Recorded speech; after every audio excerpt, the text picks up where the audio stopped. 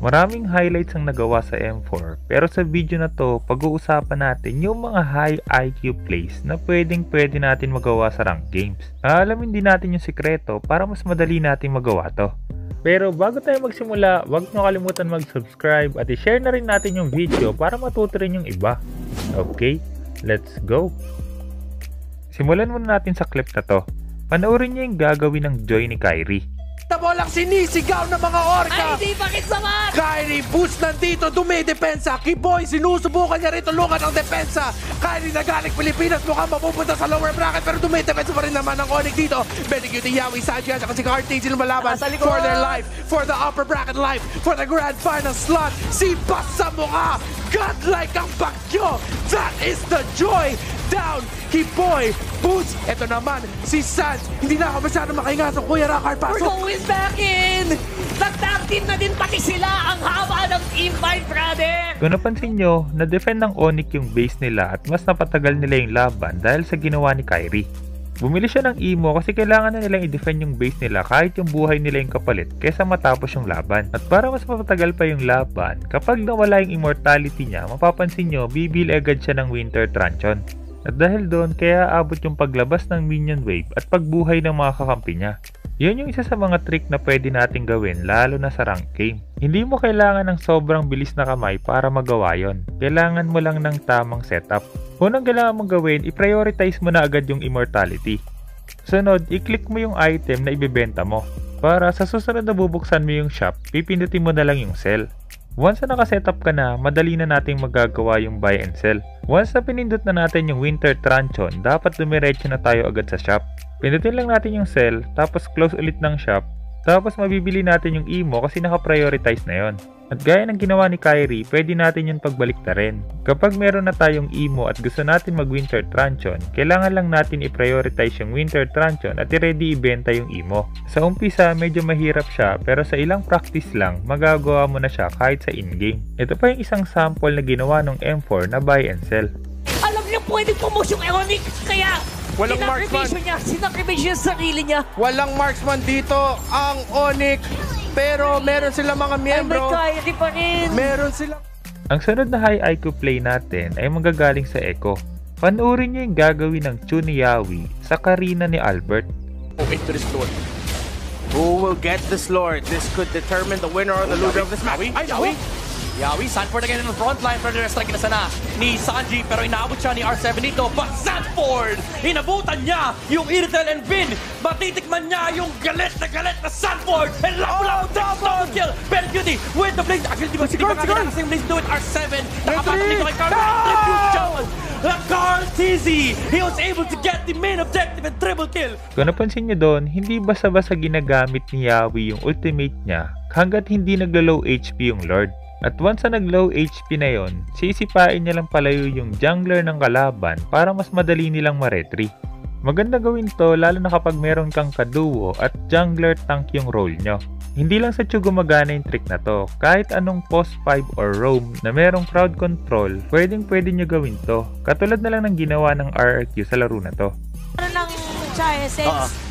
So why not? Pero teka lang ah. Uy. Blacklist International yan nakapwesto. Si, si BBL Albert, is ah. here. Pwede sumunod anytime. Pero with that Tempest of Blades, kanina mo pumunta yung Lord! Napunta sa RRQ yung Lord. Pero Blacklist International, hindi yata nila papauwin si Vin. Vin is down. Nakita na natin ito kanina. Kung napansin nyo, hinatak lang ng Kaja yung Barats kaya mas madaling nakaretry yung Ling. Kung solo player ka naman at alam mong hindi marunong mag-retry yung kakampi mong jungler katulad ko, napakalaking advantage nito. Kailangan mo lang isabay yung crowd control mo kapag low HP na yung turtle or lord para madaling ma-retry ng kakampi mo. Kapag hindi niya pa rin na-retry, bawi na lang next game. Ito naman ang sunod na high IQ play. Panoorin niyo yung gagawin ng Valentina ni Wise. A Lord take for the Brazilians. Pero nababawasan na si Tekashi, tinakot pa ni Punta Wise. Nandito na rin yung Blessing of the Moon Goddess. 3-4 HP para dito sa Lord at hinahabol lang si Tekashi. Hindi na makakapag-shield with the Brave Spider Nasner. Lahat ni Sagan. Pero konting pagpigil lamang dahil may heal din pabalik ng. Reyna. Hinila pabalik nandito rin si King. Naghahanap sila ng Bago natin ituloy yung video, gusto ko munang i-shoutout sina Mr. A, The Health Hub at Be Like Mike. Sa next video, i-shoutout natin yung tatlong makakapag-comment ng keyword sa video na to. Kaya kung hindi ka pa nakasubscribe, hit mo na yung subscribe at yung notification bell. Angulo para sa Lord. Si si Kailangan Luis. masecure to ni Wais kung gusto niyang kunin ang laro para sa blacklist. Pero nandito na rin si Hardy. Bumagsak na si Agent 0-0 nakapag-secure ng Lord.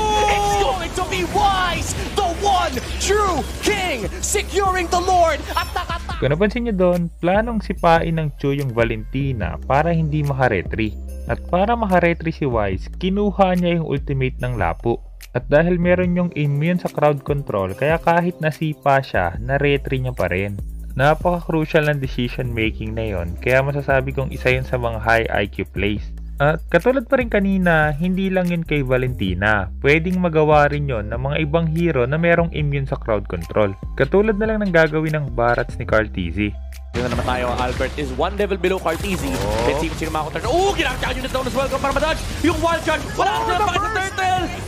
Ang gusto nila. And Echo, again, took down the, the second objective of the game. Although naka-double kill si Albert. Kung napansin nyo doon, medyo maaga pa yung ultimate ng Grak kasi hindi pa ganun kalaw yung HP ng Turtle. Pero dahil nga immune sa crowd control si Barat habang naka-ultimate, kaya hindi siya na-stun. At dahil doon, kaya nakuha pa rin nila yung Turtle. Ito yung dahilan kung bakit magandang i-reserve yung mga anti-crowd control skills nyo kapag kumukuha kayo ng objective. Ang sunod na high IQ play natin ay manggagaling sa Lunox ni Rosa. And let's take a look on the bottom side. Oh, no. Cindy, oh, this is two on two, but in the mid lane though. In the mid lane is three versus two, and then say, oh, here we go on the bottom side. Rosa strikes for Naomi taking low, but here comes the roll manipulation. They find the kill onto Naomi, but at what cost? Apex. And Apex. now it's Falcon fighting back. Apex jumping to the back line now, just connecting to the Oh! ultimate. The flicker to Fatal Link! It's devastation to the side of Falcon! Oh! Incendio take the entirety of this team fight! Kung napansin nyo doon, nag-dark ultimate si Rosa tapos nag-flicker out. Ito yung isa sa pinaka-importante na dapat mong matutunan kapag naglalaro ng ML. Alam ni Rosa na kapag naka-double dark siya, pwede siyang makagat ng Franco at mamamatay lang agad siya. Kaya para ma-maximize niya pa rin yung damage ng dark, nag-dark in siya sabay flicker out. At dahil wala ng Franco at pang pick up yung kalaban, kaya madali nilang naubos. Ito yung advantage kapag iniisip mo kung anong available na skills pa ng kalaban. Kadalasan sa rank game, ang iniisip lang natin is kung anong skill yung meron tayo. Pero dapat iniisip din natin kung anong skill ba yung meron yung kalaban. At maliban sa skill, dapat iniisip din natin yung mga spells nila. Katulad na lang sa clip na to. Panoorin nyo yung gagawin ng carry ni Oheb. Going in for the Lord is taken to a quarter of its health. Apex 47 trying to open up the map, jumps in with the Fatal Links, jumps on it, gets the damage done with the Violent Requiem to follow it up. Hodge gonna be taken low, Rosa jumps in, that's a double kill for Oheb, but Edward's caught in the midst. Rosa backing up, Incendio Supremacy have lost the fight. Kung napansin nyo, kahit hindi nag-second skill yung Atlas, expected ni Oheb na mag-flicker in tapos ultimate yung Atlas. At dahil nga hindi siya nahuli, hindi niya na nagamit yung Purify niya tapos naka-free hit pa siya. Yun yung advantage kapag iniisip mo lagi kung ano pang merong skills at spell yung mga kalaban. Ang sunod na high IQ play natin, manggagaling sa Ling ni Albert at sa Hayabusa ni Rival. Tactics. Can Todak defend? Let's wait and see. Ah, here we go. Oh my goodness, Albert almost getting one shot Oh! there. He's still alive and he wants more. He's baiting it out. Come get me, boys. Oh, five rifle and Albert. Still, he goes down with his. He still has immortality. It's all good, but Yumski is looking to take him out. The rest of the team look to combine together and group up, and Yumski continuing to distract Clay as the defense is going down on the bottom side. Do they notice this? RRQ just back on off. Goodness, the distraction from rival. Kung napansin nyo doon, nakabili ng immortality si Albert mid-ultimate niya. Yun yung dahilan kung bakit mas tumagal siya at hindi siya napatay ni Rival. At pagdating naman kay Rival, alam niya rin yung strength ng hero niya kaya hindi rin siya basta-basta napatay. Ito naman yung advantage ng pagmaster ng hero. Kapag master mo na ang isang hero, alam mo na yung strength at weakness at kung paano ka hindi mamamatay at paano ka papatay. Kaya pagdating sa rank games, kung gusto mo talagang umangat ng rank, piliin mo yung mga hero na kaya mong i-master. At kailangan mo rin tandaan, hindi nila nagawa yan ng ilang games lang.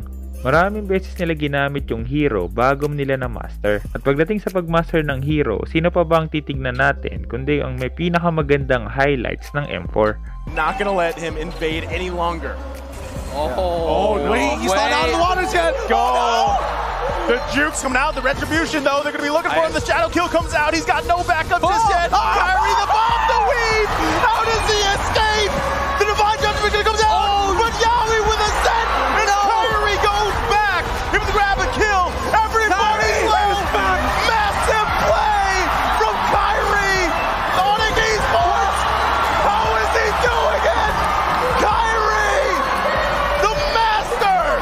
Wala na akong kailangan ni-explain sa ginawa ni Kyrie doon. Pero kung mapapansin nyo, pagkatapos ng teamfight, umuwi agad siya ng base tapos nag-clear pa siya ng top lane. Maliban doon mapapansin nyo, hindi nila agad babasagin yung third tower para hindi umabante yung minion.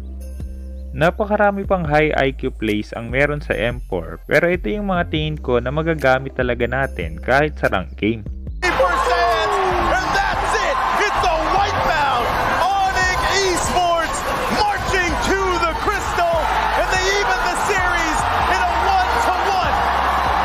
Kung may natutunan ka sa video na to, huwag mo kalimutan mag-subscribe at kung meron kang guide sa ipagawa, i-comment mo lang sa baba sa gumagawa ng guide tungkol doon. subscribe, hit mo na yung subscribe pati yung notification bell. Basta lagi mo lang tatandaan, kung gusto mo mag-improve, just master the basics. I'm out.